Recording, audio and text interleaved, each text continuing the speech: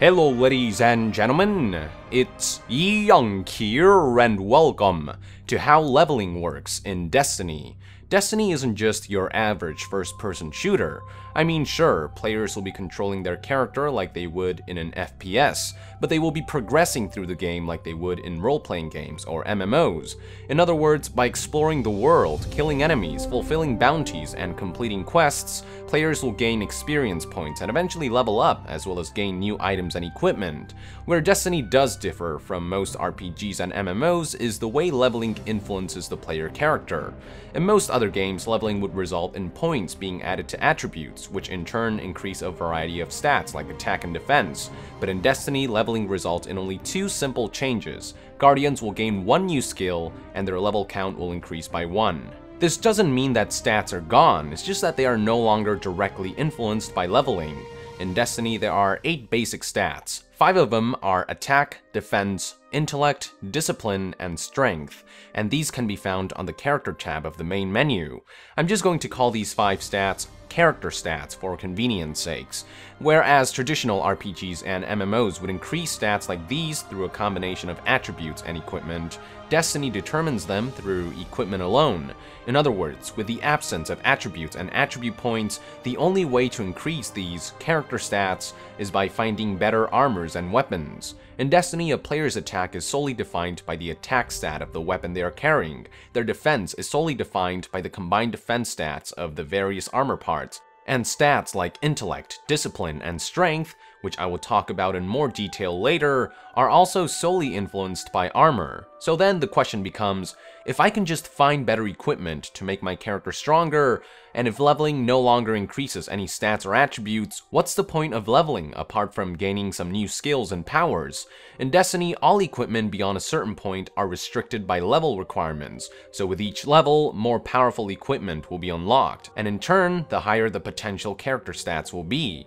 Now, since Destiny relies so heavily on equipment for character progression, it's important for players to stay up to level with their equipment. In traditional RPGs and MMOs, a level 20 character with level 5 equipment is still significantly stronger than a level 5 character with level 5 equipment thanks to attributes, but in Destiny, a level 20 character with level 5 equipment might as well just be a level 5 character with more skills and a few advantages. In Destiny, characters are as weak or as strong as their equipment, and their maximum potential is defined by their current level.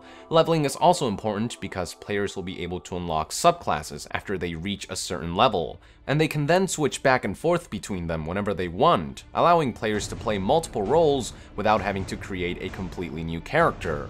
Now, doing so requires going to the main menu, and since the game never pauses, subclass switching should ideally be done in safe areas. Speaking of subclasses, it's within the Character tab subclass submenu that players will find the other three stats, Armor, Recovery, and Agility. Armor determines the damage that the character can take before dying, Recovery determines the speed at which health regenerates, and Agility determines movement speed and jump height. Depending on the player's class and subclass, these stats will start out and develop differently. I'm going to call these three stats the subclass stats for convenience sakes. Like with the character stats, subclass stats are not directly influenced by leveling, but they aren't influenced by equipment either. Instead, they are only influenced by certain skills specifically meant for modifying these stats. Skills in Destiny are organized into columns, with each column representing a category. From left to right, the categories are grenade skills, mobility skills, super skills, melee skills, stats skills, passive skills, more stat skills, more passive skills, and what's called illumination. Every class and subclass shares this format. With each level, skills unlock one by one, and for the most part, from left to right, row by row. Within each column, only one skill can be set as active, with the exception of mobility, super, and melee skills. In these columns, the first row is always active since it unlocks these powers, while the three rows that follow are upgrades for these skills, and within these, only one upgrade per column can be active at a time. So that's 8 columns with 3 options each. If you do the math, each subclass can have up to 6,561 permutations of skills, and so far 6 subclasses in total, 2 per class, have been unveiled. That's a lot of different ways you can build your character if you ask me.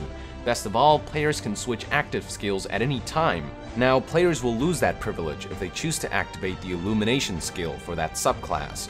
What this does is lock down the choices of skills that players made, and in exchange grants the subclass a significant stats boost. Players will still be able to switch back and forth between their character subclasses, but any subclass with Illumination activated will not be able to switch their skills around. Illumination is only for players who are absolutely sure that the skills they chose for a subclass match the character build and playstyle they're going for. Further adding to the depth of Destiny's leveling system are the intellect, discipline, and strength character stats, which I briefly mentioned before. To increase these stats, players have to find and equip armor that do just that. Each of these three stats essentially reduce the cooldown for one of the character's active skills. Intellect reduces the cooldown for the character's super skill. Discipline reduces the cooldown for the character's grenade skills. Finally, Strength reduces the cooldown time for the character's melee skill. Since each subclass has different active skills, some of these descriptions will vary between subclasses, but at their core, these three character stats reduce the cooldown for the three active skills that I mentioned. One final layer for Destiny's leveling system is weapon leveling and upgrades, but I'll talk about those in a separate video. Alright, that was a lot of information to juggle, so let's recap Destiny's leveling and progression system. In Destiny, there is no such thing as attribute points or anything of the sort.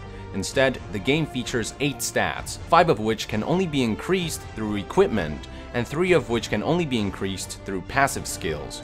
I have taken to labeling the former 5 stats character stats, and the latter 3 stats subclass stats. None of these are directly influenced by leveling. Instead, leveling in Destiny does two things. One, it increases the character's level count. The character's level count may not influence stats directly, but it does influence what equipment they can wear, since equipment in Destiny have level requirements, so a higher level count means being able to equip better armors and weapons, which means a higher roof for the five character stats, attack, defense, intellect, discipline, and strength. The second thing that leveling does is unlock skills one level at a time, from left to right, row by row. As mentioned previously, the only way to increase subclass stats is by unlocking passive skills, but the only way to unlock new skills is by leveling. So while leveling may not directly cause the increase or modification of the three subclass stats, armor, recovery, and agility, it still plays an instrumental role.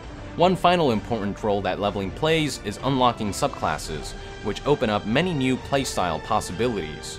Destiny's leveling system clearly shifts its focus away from all the stats, number crunching, and perfect character builds that fans of traditional RPGs and MMOs are used to, and more towards offering enough options to allow a variety of different playstyles. Some would argue that Destiny's leveling system is overly streamlined, but it's important to keep in mind that Destiny is at its core a first-person shooter first, and a role-playing game second, which makes it a skill-based game first and a stats-based game second. At the end of the day, as long as the player is properly equipped, catching someone off guard or pulling off headshots will triumph over a few levels or stats worth of difference. At the same time, Destiny offers enough advantages for upgrading stats, finding the best equipment, and obtaining new powers to make exploring worlds, killing enemies, and completing bounties and missions worthwhile. In the end, Destiny's leveling system is about playstyle options and having the skills to make efficient use of the advantages that these options offer. In that respect, I think that Destiny's leveling system offers a lot of options and is on the right path.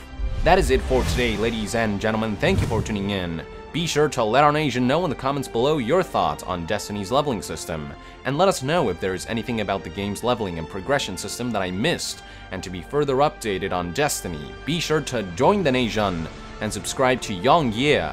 I'll see you guys next time. Thank you very much, and Yong out.